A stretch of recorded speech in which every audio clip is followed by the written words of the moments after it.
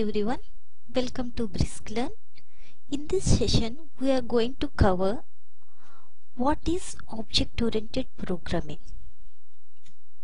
Any programming language that follows the below list is called as object-oriented programming. Let us see the below list.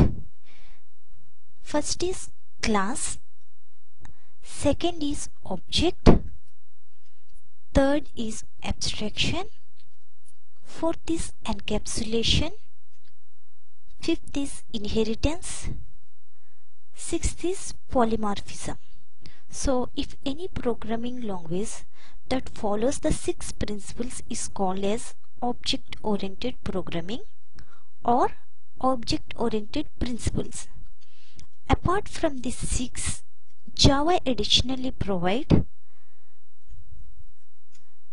abstract class, interface and package. Since Java follows the above six, it is considered as object-oriented programming language.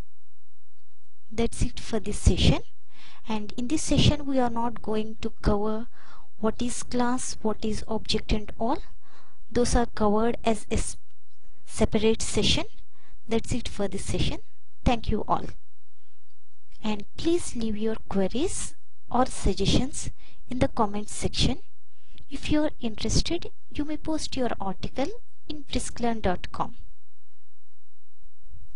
Bye.